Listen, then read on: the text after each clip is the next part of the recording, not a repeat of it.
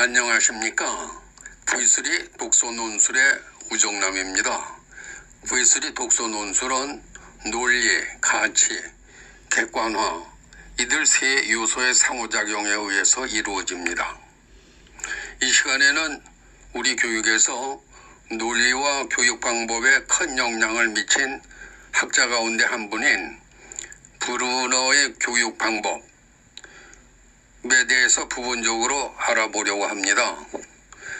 최 선생님의 한자 교육과 브루너의 탐구 방법이라는 제목으로 말씀드립니다. 최 선생님께서는 아이들에게 한자를 지혜롭게 가르치십니다. 감동적입니다. 유아들에게서 아이디어를 찾아 그 아이디어로 유아들에게 한자를 재미있게 가르치기 때문입니다.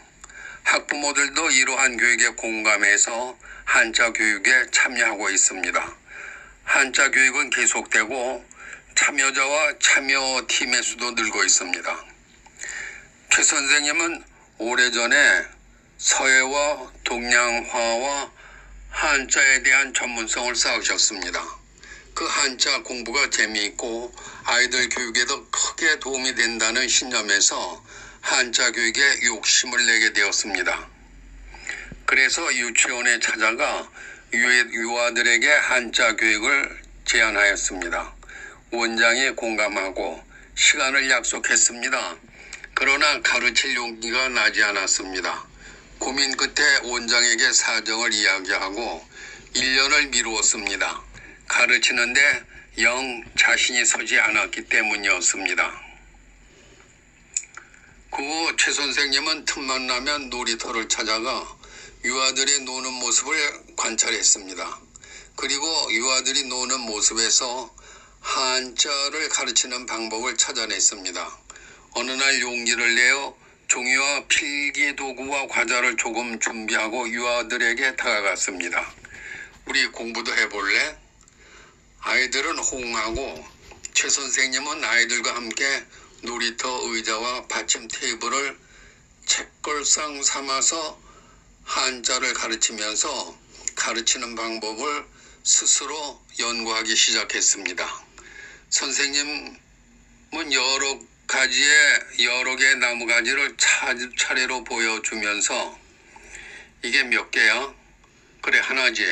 그러면 나뭇가지 모양대로 이렇게 그려봐. 이게 한일이라고 한단다. 한자지. 이게 두 개지.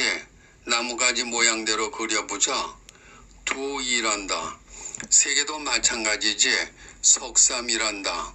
그리고 이걸 왼쪽에서 아래로 그리고 오른쪽에서 아래로 이렇게 그려서 표시하면 눈 목자가 된단다. 쉽고 재미있지. 또 이쪽에서 보고 저쪽에서 본다는 뜻으로 점을 하나씩 느려서 찍어보면 또 차가 된단다.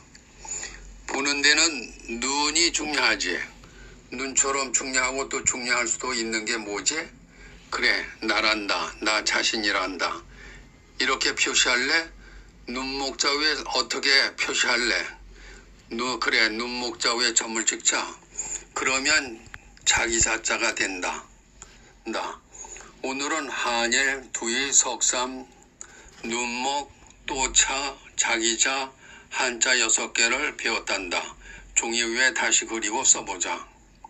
선생님은 유아들 입장에서 그들만의 눈높이에서 놀이, 그림, 글자, 언어와 상징을 이해하고 한자 조법을 새로운 눈으로 이해하게 되었다.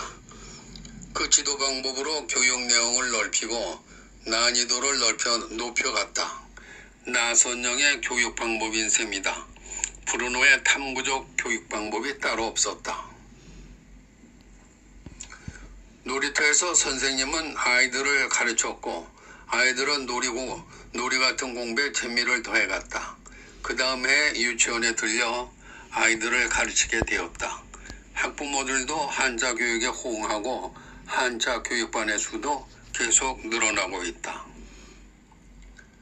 이제는 자신이 가르치고 있는 한자 교육 노하우에 교육학적 의미를 가미하려고 한다. 그래서 3년째 독서 논술 연수에 참여하고 있다. 부모 교육학의 논술 포인트다. 한자 교육의 독서 논술의 논리와 가치와 객관화 이론을 조금씩 가미하려고 한다. 교육 방법에 논술 포인트를 더하려고 한다. 가르침이 논리에 어긋남이 없고 논리가 가르침에 어긋남이 없다면 더 큰 보람과 의미를 갖게 될 것이다. 교육학적 노, 노하우가 논리, 가치, 객관화 등을 포함한다면 아이들에게 공부하는 기본 논리도 습득시킬 수 있을 것이다. 이렇게 되면 다른 분들에게도 한자 지도의 노하우를 자신 있게 전할 수 있게 될 것이다. 이 이야기는 독서논술 자격연수반에서 최 선생님이 한 강의 일부를 인용했습니다. 감사합니다. 안녕히 계십시오.